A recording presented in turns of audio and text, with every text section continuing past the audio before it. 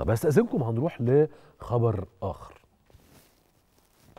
دكتور رضا حجازي وزير التربية والتعليم والتعليم الفني. عمل النهارده اجتماع مهم جدا. طيب بخصوص إيه؟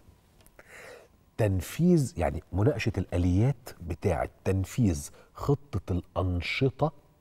أيوه الأنشطة أيوه الأنشطة المدرسية في المدارس خلال العام الدراسي. الجديد 2022 2023 طيب وبيأكد دكتور رضا حجازي على إنه الوزارة بتهتم بالكشف عن المبدعين من أبنائنا الطلاب في كل المجالات في المجالات الرياضية الفنية الثقافية وبيأكد على أهمية الاستثمار في العنصر البشري. هو ده الكلام. أيوه كده يا دكتور هو ده الكلام. عودة الأنشطة المدرسية.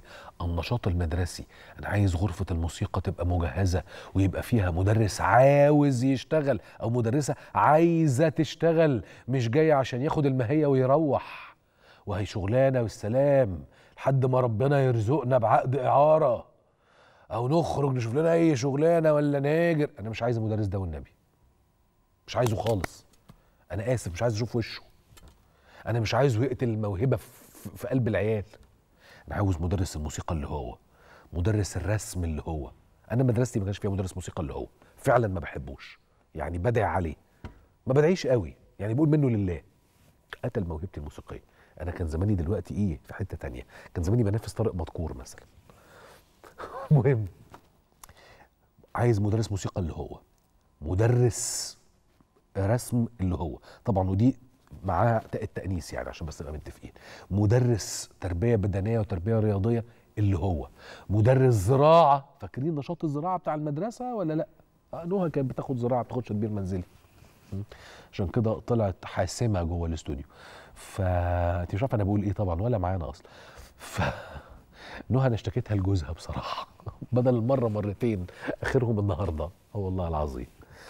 فمتعبه جدا قوي أنت مش عايز تقعدها في البيت؟ بجد.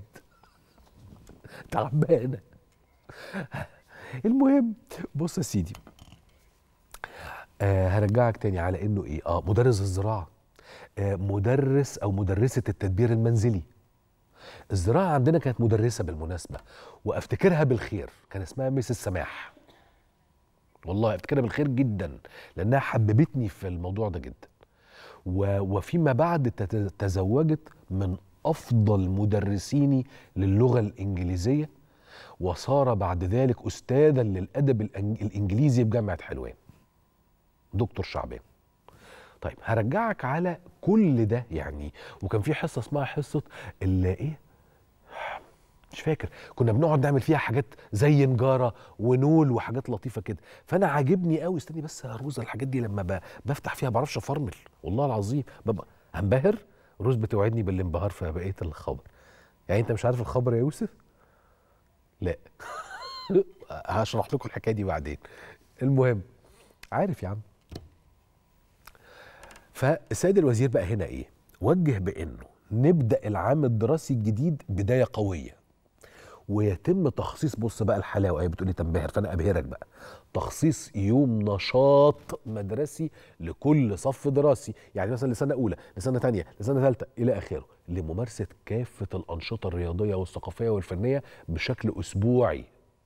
وده يحصل بالتناوب في المدارس على مستوى الجمهورية. في ضوء الموارد المتاحة هي الموارد دي بقى. دكتور إحنا عايزين نزود مواردنا. إزاي؟ أنا بصراحة ما أعرفش. بس ممكن نقعد ونفكر و... ونتكاتف ونشتغل ورقبتنا ليك. طالما هنطور المدرسة رقبتي ليك. هنطور التلامذة بتوعنا رقبتي ليك. هنرجع الأنشطة المدرسية بكل قوتها رقبتي ليك. والله العظيم ما بهزر. فبيقول لنا إيه؟ في ضوء الموارد المتاحة في كل مدرسة. آه. وبيأكد إنه ممارسة الأنشطة دي ما هياش بديل بالمناسبة عن حصص التربية الرياضية وحصص التربية الفنية والموسيقية. إلخ إلخ إلخ. بذمتك كلام حلو ويبهر ولا لأ؟ أنا مبسوط. جدا جدا. فاكر لما كنا بنكلم الأستاذ طارق مدكور موزعنا الموسيقي الكبير وكنت بقول له الموسيقى دخلت في حياتك إزاي؟ قال لي حصة الموسيقى في المدرسة. عندنا بيانو في البيت لكن أنا حبيت الموسيقى جوه المدرسة. وأقول له طيب إزاي يبقى في عندي طارق مدكور وأكتر؟ قال واللي احسن منه طبعا طارق مدكور معروف جدا شخص متواضع قوي يعني. قال لي إن إحنا نرجع الأنشطة دي ولو عاوزين نعمل ده وعاوزين يبقى موجود أنا أول واحد ينزل المدارس ويعلم الولاد موسيقى ما عنديش أي أزمة.